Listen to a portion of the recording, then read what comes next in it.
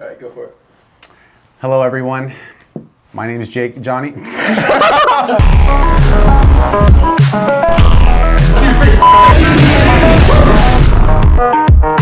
Hello, everyone, and welcome back to Real Sales Dynamics. I'm Johnny Graham, I'm Jacob Graham. and we have a very interesting series ahead of us. Through this series, we're going to be breaking down on a step by step basis on how our door approach works. And we're going to go in a lot of depth on how these five steps allow us to get one in three contacts made turned into solar appointments in the most competitive market in the industry, San Diego. Let's walk through that. Jake, what are the five steps that we use? five steps to a sale. You're gonna break preoccupation, you have to establish a problem, you have to solve that problem, you have to pull back, and then transition to slash tie down.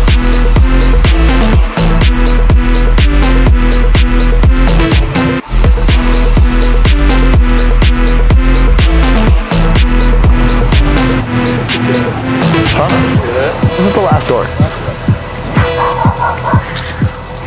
It's the biggest lie I ever told in solar. One more door.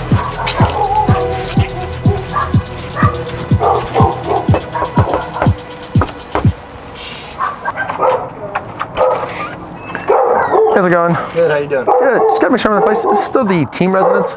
Yeah. Perfect. I'm following up on a notice that was sent out to you guys back in July in regards to the second phase of your guys' smart grid project. I'm following up on a Okay, so what he did here, it seems really subtle, but breaking preoccupation simply means grabbing the customer's attention from whatever they were doing and pulling it into your attention stream.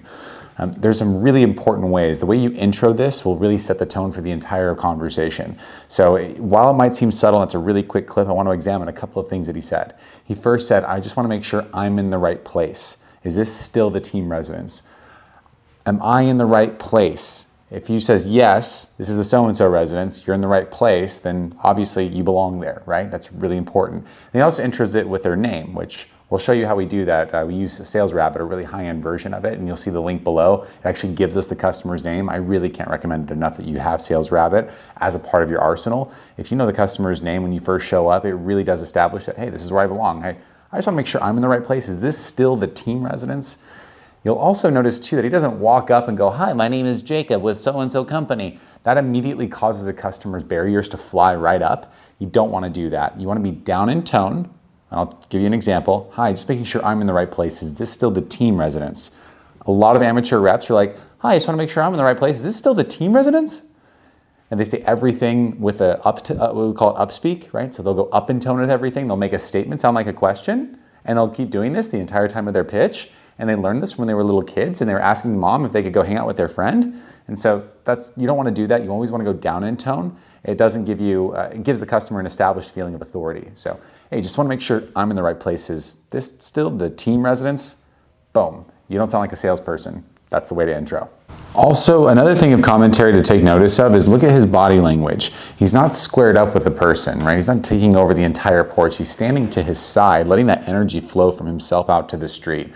I know you're just seeing a very brief clip of this and we're talking a lot about it, but breaking preoccupation is arguably probably the most important step in this entire thing. It sets the tone for the entire conversation. If you show up with your with your hat and your clipboard and your polo and you look like a salesperson, you're going to be overcoming so much adversity right from the very beginning.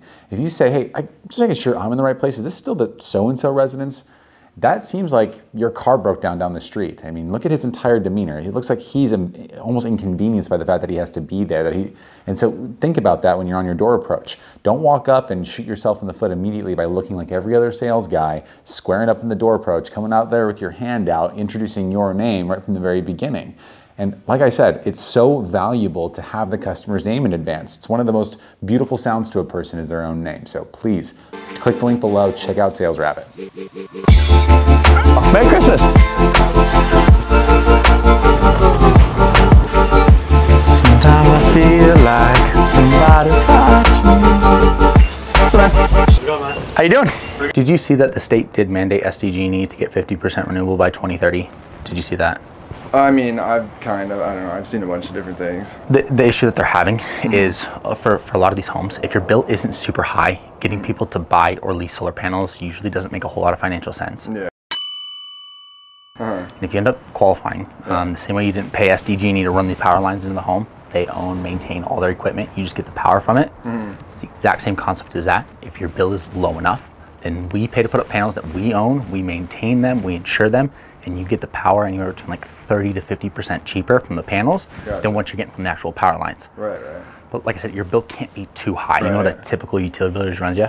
Like 600, 500. Okay. It depends on the like month. Okay, that works. Like I said, your bill can't be too high. How do you typically do your billing? Are you doing it online or paper? It's online. Online? Yeah. That, that's even easier. So my job is super simple. I just got to look at this graph right here. It's on page one. I think I know what you're talking about. The graph on it. Yeah, have you seen this graph? Mm-hmm. Yeah. I just got to look, look at this graph right here, and then I got to check your electric meter. Do you know what side of the house the electric meter's on? over there. Yeah. side. All right. Yeah, yeah. I look at your meter, um, pull up that bill, and I'll just like meet you back right here. Okay, yeah, yeah. This is nice. This is a good meter. Look at it. Nice 250 amp panel. It's good. I like it. Cool. So I just got to see that graph. It's on uh, page one of the electric bill. I can I can show Is you. the, is it the PDF? That's exactly yeah, what we need. Go ahead. Perfect.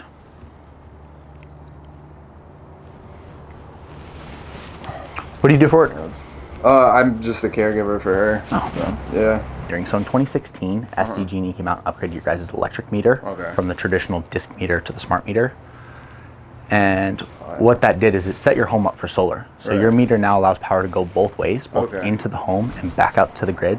So you can measure both. The yeah. flow. The biggest issue with solar is it doesn't work at night, Right. right? Yeah, yeah, and yeah. so what, what happens is during the day your panels produce power Right, not only for your home, but it all it kicks it over to them their house. So this house Yeah. right here produces power for this entire neighborhood.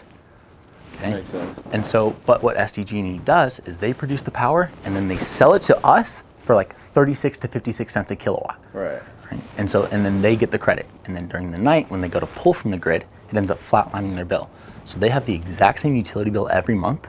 And I don't know if you saw, but SDG&E just got approved from December to January for a nine, another 9% increase. So The one, people that are making those decisions. Right it's now, wild. CEO of Sempra Energy makes $14 million a year. That's crazy. It's nuts.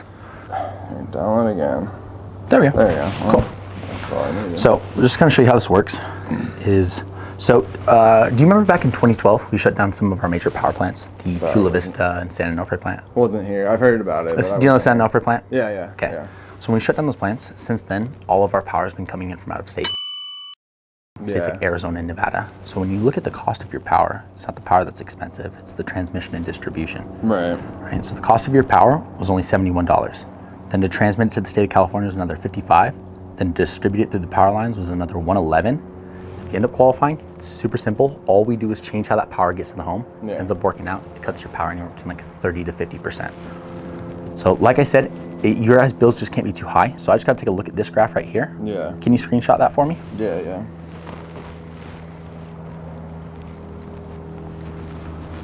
Can you text Yeah, you? you or- can text me.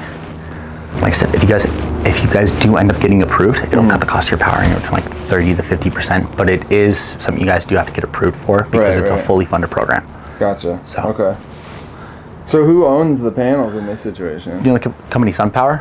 I've heard. Yeah, I think so. I So there's there's two major solar companies right now in the, in the state. There's Sunrun, which is the nation's largest solar company, Okay. and then you have SunPower, which is the like number one solar company. Right? They're like the Apple of of, of solar. Okay. Um, so they own the panels the same way SDG&E owns all the equipment into the home. Right, right. Exact same. So SunPower makes the investment. They own it. They maintain it. They insure it, and you get the power directly from the panels, Right. cheaper than what you're getting from the power lines. Right. Okay. And so um, SDG&E is already they're just a shipping and handling company, right? They don't yeah. produce the power. They just ship right. it to your home. Gotcha. And so we become your full-time provi- energy provider, and Uh-huh. it allows you to get your power um, from the panels way cheaper than what you're getting from the from the power lines. All right, now when it comes to establishing the problem, this is establishing the pain point, uh, the reason for why you're there. So step one is we broke preoccupation, took the person and brought them into our attention stream. And step two is going to be creating the problem. Maybe it's a problem they were aware of or they weren't aware of it at all. Now there's two big problems that actually affect Californians. The first problem is the shortage of electricity. So a lot of these utilities, they'll put on what's called a time of use charge. This is a charge where they're going to penalize a homeowner for using power during high demand hours, high demand, that four to nine period time slot, where they'll charge sometimes almost 50 to 60% more for the power during those hours. And those second problem he's going to allude to, and this is so important. This is really what stands our pitch out against all the competitors, is we focus on people with their low utility bills. If you've spent any time knocking doors, you're going to recognize quickly that the vast majority of people that didn't go solar, their reasoning was my bill wasn't high enough. If that's really the case, then you need to learn how to be offensive in your selling and put that into your pitch. So we established two problems. Problem A, that, the, that there's not enough power here in the county and we need to actually bring that extra power in. And problem B is that your bill wasn't high enough to justify going solar. Now when I say bill isn't high enough to justify going solar, that's entirely subjective. That's entirely up to you. And so when somebody says, yeah, my bill was like $200, didn't seem worth it, we can still cut that person's bill in half. That's still too high by our measure. So when we say, yeah, you know, this program is for people with lower utility bills in the past, it didn't make sense for them to go and spend thirty to fifty thousand dollars putting panels on their roof. You know, that's when the homeowner goes, yeah, you know, I looked at solar in the past, it didn't make sense for me. That's exactly the boat that I was in. Now, when you express a customer's objection before they've had the chance to do so, you don't even have to overcome it. They immediately see you as being on their side. Remember, it's impossible for somebody to argue with you if you always agree with them.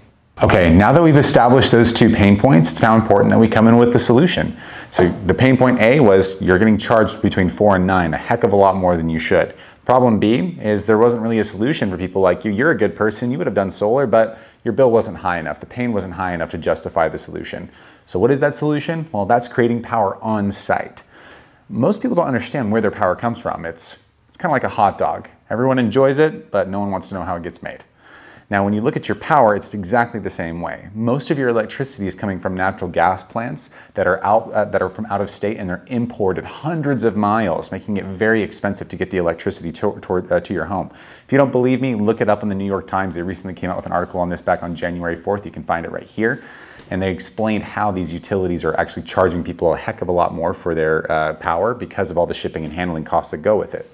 So what's the solution to all this mayhem and all these high pricing costs? Solution is simple. We're gonna put the power plant right on your roof.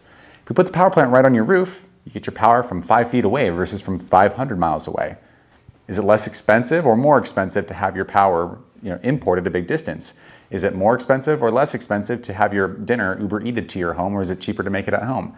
It's the same exact analogy here and the exact, exact same process. If we can make the power right on the person's roof, we can cut down all of those shipping and handling costs and bring their overall bill down anywhere from 20 to 40%. Now, a little note here. If you tell the homeowner we're going to cut your bill in half and the savings are outrageous and it costs you nothing, the BS meters start flying off. A customer goes, wait, wait, wait. You're telling me this costs me nothing and it's going to cut my bill down in half and I don't have to do anything? More amateur sales reps will be like, yeah, that's exactly what I'm saying. That's exactly what you should do. My recommendation to you would be like, now if it works out, uh, we might be able to take you off that four to nine time period rate and put you on a lower cost. It's usually anywhere from like a 15 to 30% savings. It's nothing huge.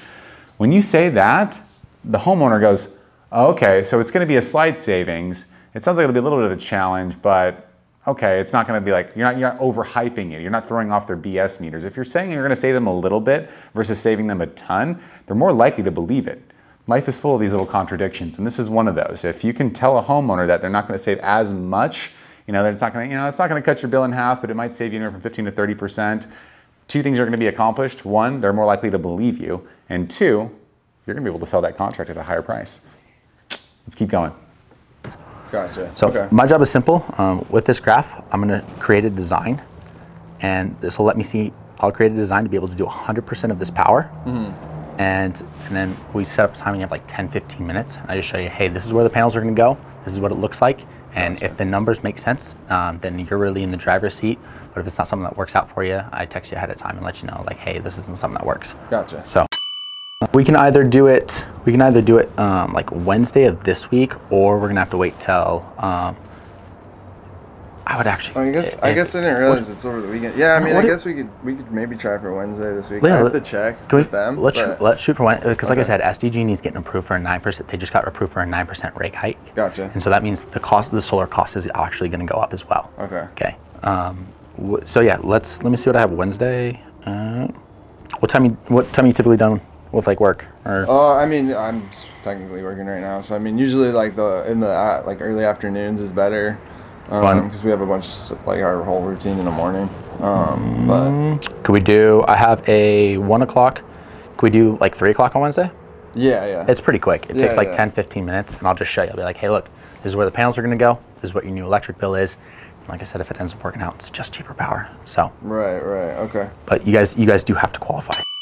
So, Pullbacks. This one's crucial. I see a lot of reps lacking this in their pitch in a very big way. If you don't do some pullbacks in your pitch, the customer is going to feel bulldozed. So let's do a quick review. First thing you're going to do is break preoccupation. Second thing you're going to do is create the problem, and you really need to create the pain there because if the pain isn't there, the solution isn't going to mean much. Then when you come in with the solution, and they start to feel the alleviation from that pain, you're going to want to then pull back and take it away. When you've alleviated a pain for somebody and you start to take away the source of their alleviation, their inclination is going to be to reach out and take it back. Now, if a homeowner is reaching for your product or service and they want it, now it's a decision that they made by their own conclusion. So I'll give you an example. When Jake goes, hey, the problem is we had a shortage of power, your power bill isn't high enough. We solved that problem by putting power here on your roof and we cut your bill down. The only problem is, is that it doesn't work for most homes. In a lot of cases, we actually can't help you. And so if your bill is too high, if you know your roof isn't in good condition, whatever it is, then we're probably not going to be able to help you.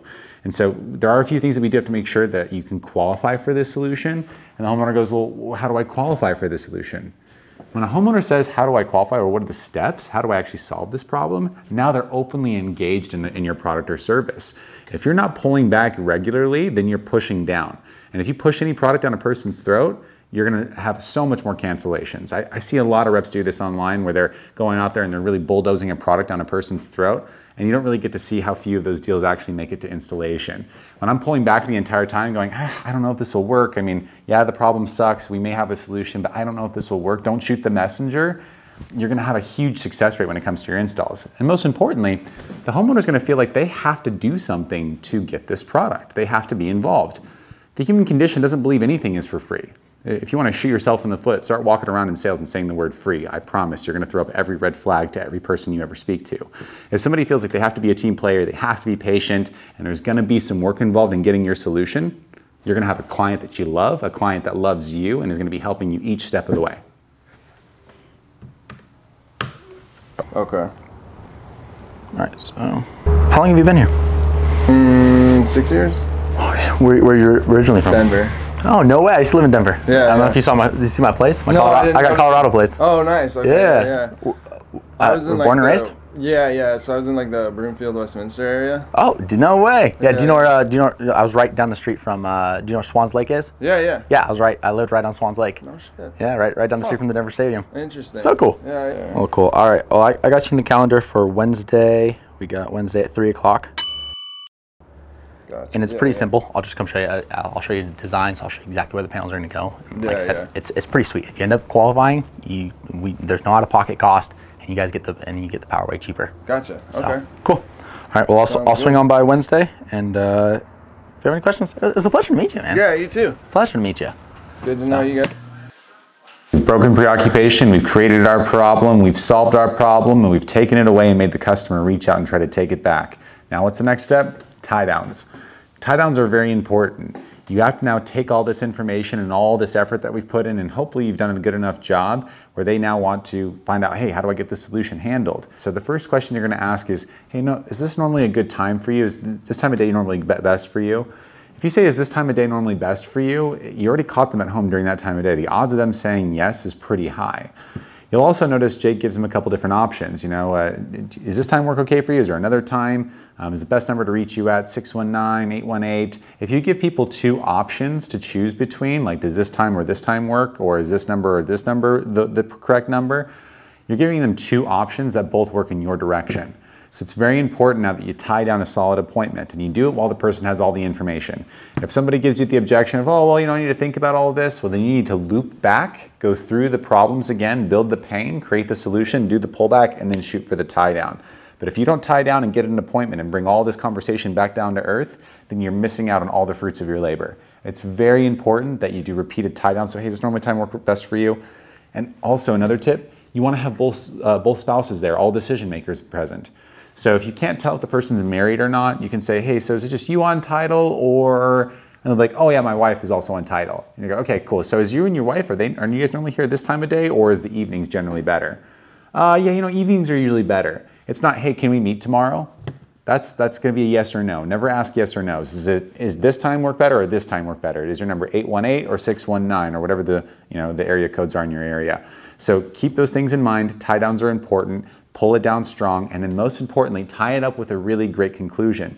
So okay, I have you down for tomorrow at 6 p.m. and I have your number at 619. Blah blah blah blah blah blah blah. Now you and your wife will be here. You said okay, cool. Can I count on the both of you being here?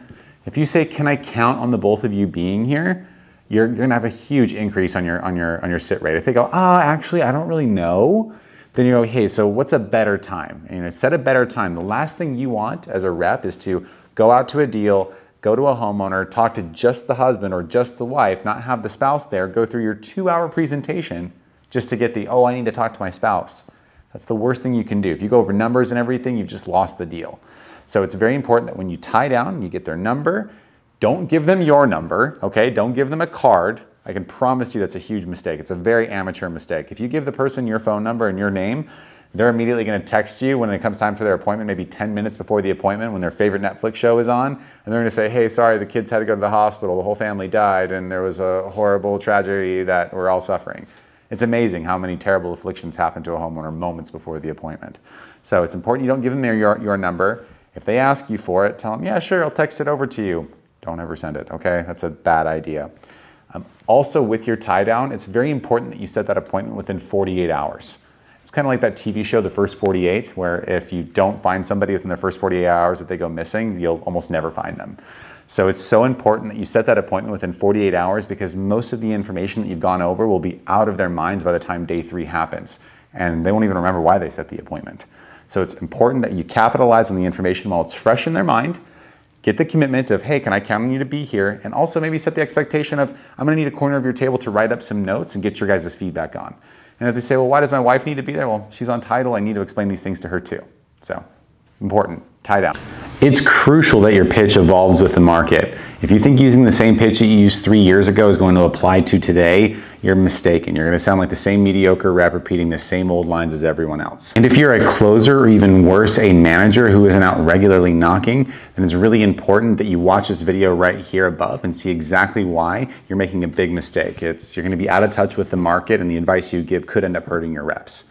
Also, if your buddy who's working in solar sales hasn't responded back to your Venmo request yet, he probably just hasn't seen this video, go ahead and send it to him. Remember, the hardest door to open is your car door, and sometimes you just need a little extra skill to help you get out into the territory and make it happen. And lastly, if you're tired of your manager just giving you a clipboard and a motivational speech and throwing you to the wolves, we are hiring. We're in, currently in California, we're all over Florida, soon to be Arizona and Texas. Please apply below. We turn ordinary reps into extraordinary ones. Once again, thank you so much for watching. You clearly care about your career if you made it all the way to the end, and we're gonna see you next week.